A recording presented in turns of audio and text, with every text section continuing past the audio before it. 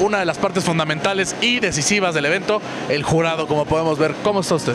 Hola, muy bien, gracias por asistir. ¿Cuál es tu nombre? Mi nombre es Corintia Aguilar. Eh, soy parte del jurado en inspección técnica. Estoy a cargo de lo que es frenos y seguridad. Perfecto, ¿y usted? Hola, mucho gusto, Francisco. Mucho gusto. También soy parte de la inspección técnica.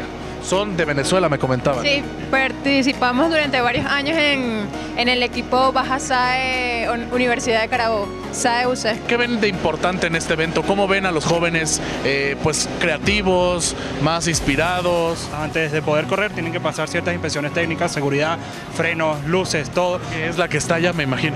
Ah, o ah, toda esta área. Ok, eso, eso se hace al principio de- del evento. Sí, esos son como que, bueno, hay diferentes pruebas que son pruebas estáticas y dinámicas. Los primeros días se hacen como hoy presentación de ventas, se checa el motor, que esté bien los frenos y ya mañana se hacen las pruebas dinámicas para luego finalizar el endurance. Si no pasas las pruebas de hoy, probablemente mañana no puedas competir, tampoco el domingo. Pero bueno, cuando alguien no pasa esta prueba, ¿puede regresar a su stand y volver a, a participar? Tienen ciertas oportunidades, pero deben cumplir a juro con, la- con las normas.